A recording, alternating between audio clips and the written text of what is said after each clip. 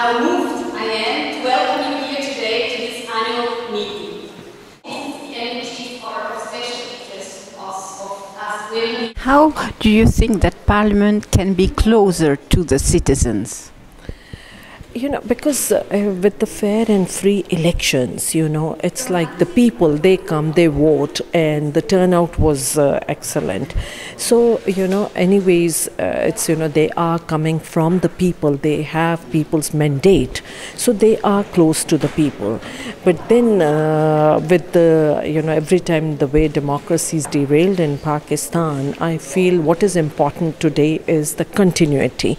And then uh, you know the, there are several challenges which uh, you know for that we will be going for local bodies elections also because it has to come from the grassroots level. And uh, you know when we go back in our constituencies we meet with the people you know hear their all the issues.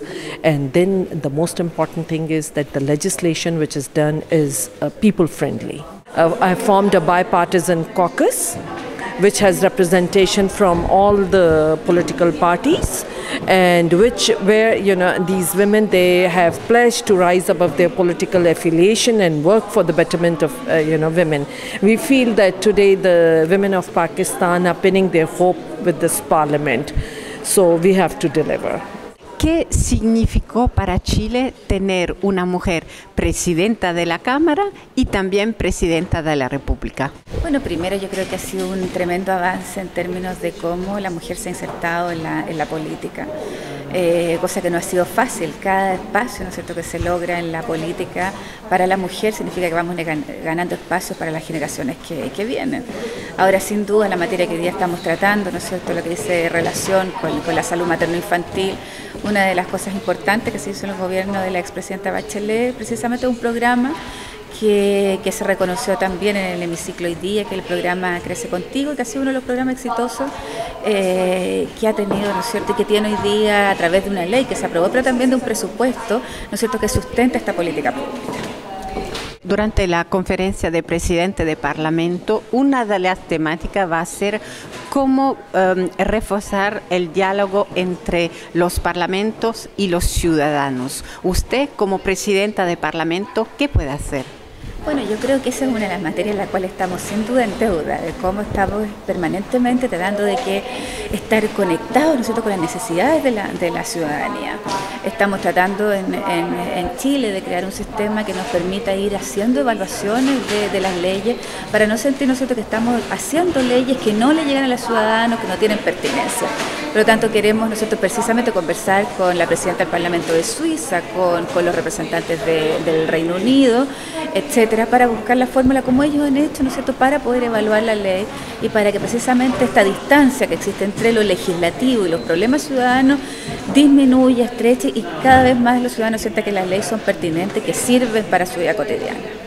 Comment expliquez-vous le succès des femmes au Parlement du Rwanda Yeah. Euh, nous avons connu effectivement un succès. Euh, le succès du Rwanda d'être le premier pays au monde, avoir plus de femmes au Parlement, plus de 56% et dans le présent mandat à la Chambre des députés. Et cela est dû à deux éléments importants. Si je peux résumer l'essentiel qui a fait et que nous arrivions à ce niveau-là. Le premier élément, c'est le leadership politique du Rwanda, l'engagement politique et la volonté pour une politique inclusive qui appelle la participation de tout un chacun, hommes et femmes, à titre d'égalité.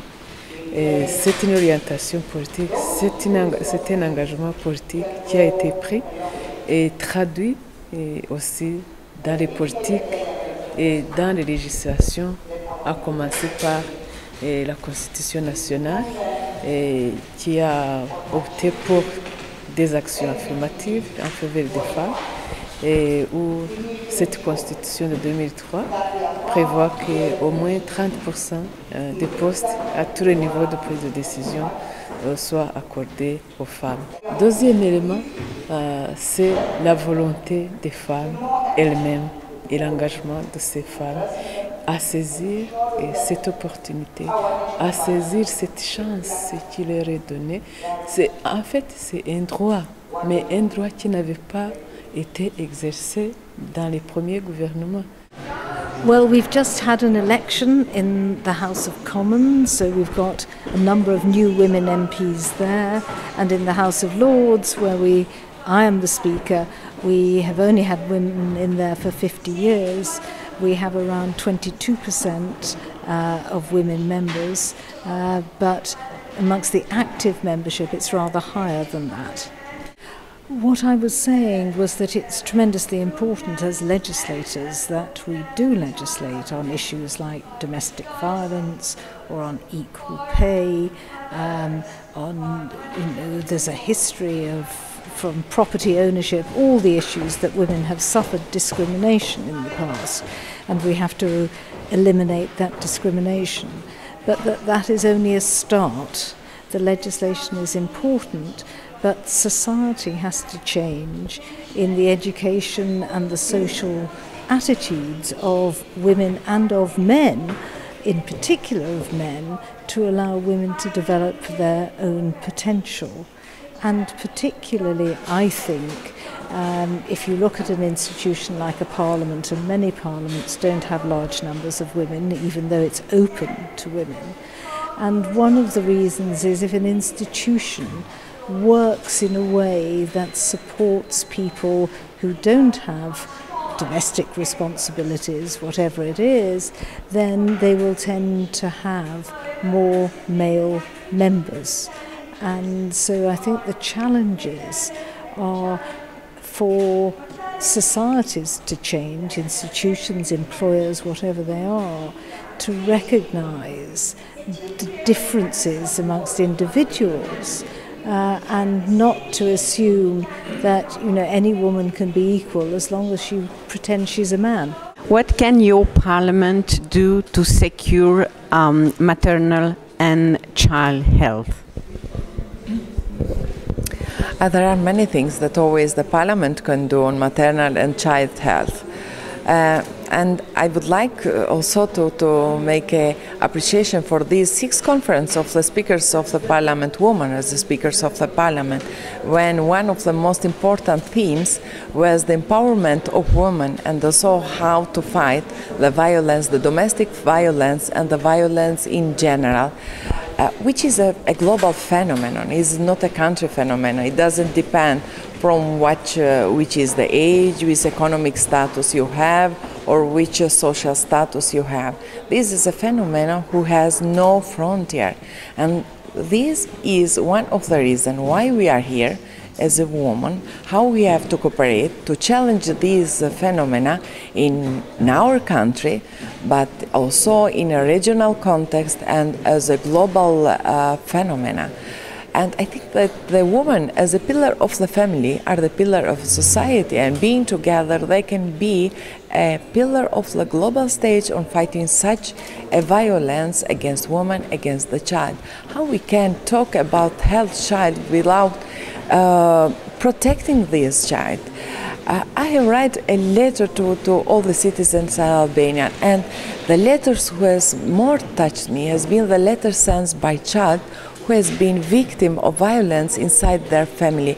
Imagine what kind of experience in their lives they have to uh, to, to, to have in mind when they have seen their mother being beaten or themselves being beaten. So we have to fix not only the penal, the penal article against this crime, which for me is a, a real crime, but also we have to prevent and to, to, to raise the voices and to speak for this woman who has not our possibility that we have, to speak about these children who are afraid about their father, who are afraid about this uh, violence and this aggression uh, that the men sometimes demonstrate toward their mother and this small child. Usted como presidenta, ¿qué puede hacer para convencer a las mujeres de entrar en política y de, bueno, intentar presentarse a las elecciones? Sí, nosotros yo creo que lo que nos debemos un, un primer debate y eso es una responsabilidad de hombres y mujeres que eh, lo que tenemos en, en, discusión es el tema del poder. Y cuando se está discutiendo el, el poder, m, debemos los partidos políticos eh, colocarlo en ese sentido sobre la mesa. Y después eh, podremos ir eh, legislando o buscando ámbitos para que la mujer tenga una mayor participación, pero queda demostrado que si no hay una voluntad política y que el debate en sí no es la, la solamente y eh, la igualdad de oportunidades, sino que discutamos que hombres y mujeres estamos detrás del poder. Y esos son los ámbitos de los cuales tienen que transformarse en espacios más democráticos, más equitativos e más igualitarios.